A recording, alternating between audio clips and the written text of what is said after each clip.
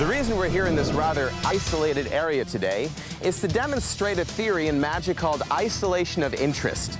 Now this basically means if something's going to appear or disappear, it has to be done so isolated that you, the audience, don't have any suspicions from where it may be coming.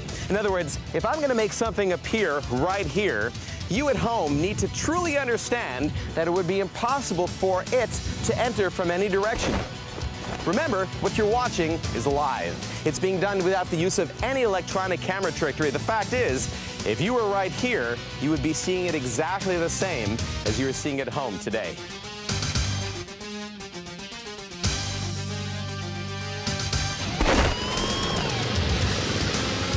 If you're going to make something appear, going to be a lot more impressive if it happens surrounded by nothing. In other words, creating an environment that is so clean, that is so empty, and so free of suspicion that the audience believes that what they're watching has no other explanation other than that it must be magic, that it must be real.